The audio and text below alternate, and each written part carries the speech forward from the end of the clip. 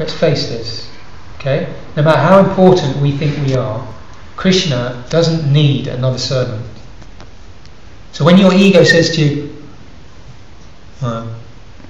serve Krishna, what? What? Serve Krishna? Serve?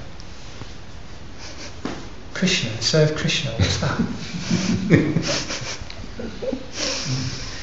when you hear that, remind yourself that Krishna doesn't need another servant. He's actually calling us to devotional service. The translation, the nearest translation in English of bhakti is devotional service. That means activities performed for, for the pleasure and happiness and benefit of others, for the pleasure and benefit and happiness of Krishna, with no selfish agenda. And Krishna doesn't want us to practice this bhakti for his own gratification. He wants us to practice so that it becomes, so that our, because that is our true eternal nature, he wants that nature to manifest again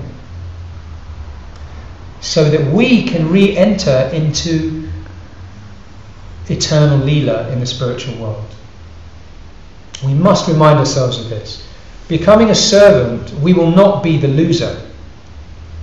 We're the loser listening to this lying, empty entity lifetime after lifetime, going round and round the wheel of samsara, the blazing fire of material existence, birth after birth, searching for happiness and not finding it over and over again.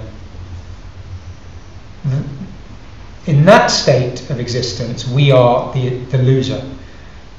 If we go back to our eternal Dharma, Nitya Dharma, if we go back to Bhakti,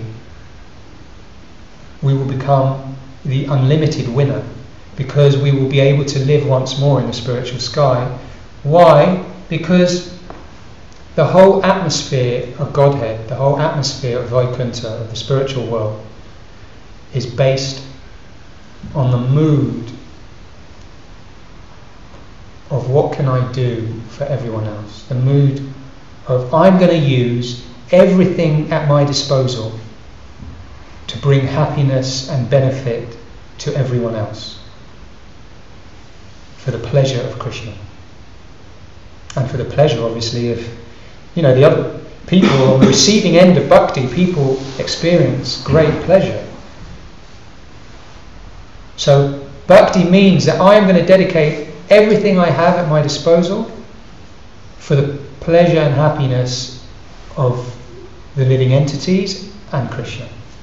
This is bhakti, and that's nitya dharma. Bhakti means the eternal truth, the eternal position, and we must gravitate back towards that.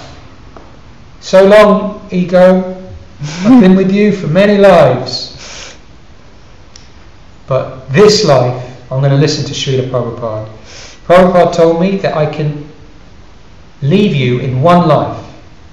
I just need to take these nine processes of devotional service seriously and I can go back to my normal liberated state where I can be free to be myself and free to love without any hindrance, to offer everything I have in loving devotional service to Krishna and his creation.